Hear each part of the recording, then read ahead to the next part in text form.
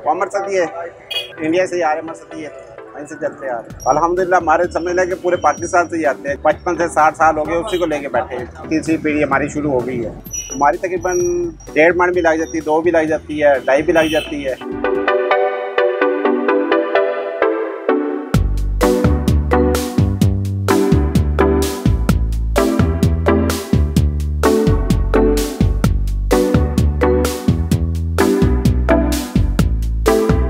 मेरा नाम जिशान है।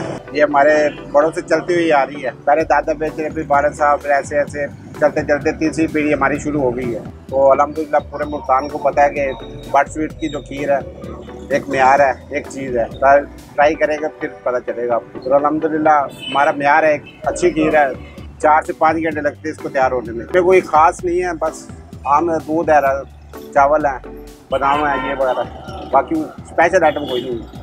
लेकिन इसका म्यार है बया बनाने में एक तरीका है बस अपना अपना एक तरीका है। चीज़ देते हैं चीज़ बना के देते हैं कि पता चलता है कि खाने में पता चलेगा। तकरीबन तीन से चार लोग हैं जो बना रहे हैं, इसको पीछे तैयार कर रहे हैं। रेट चार सौ अस्सी रुपये के जी है।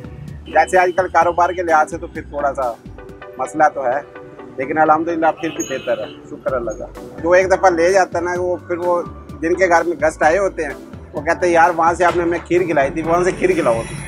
अलहमदिल्ला ऐसा म्यार है। हमारे पास इसके अलावा रसमलाई है, रबड़ी है, खीर है, दूध की बोतल है, समोसे, रोल, सबसे ज़्यादा खीर ही है। खीर भी है, फलूदा भी है। बेसिकली हमारे जो मेन है ना, जहाँ से हम स्टार्ट हुए हैं, हम खीर से स्टार्ट हुए अल्लाह पा का करम है उसको नवाज़ दे अल्लाह पा का शुक्र है जी, एक म्यार है उससे लेके बैठे हैं।